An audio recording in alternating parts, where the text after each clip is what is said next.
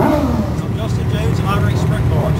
I love myself because I am fine. I ride along and glide through time.